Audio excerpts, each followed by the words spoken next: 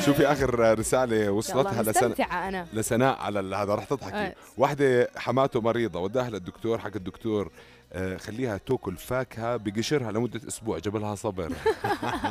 ما الأمو.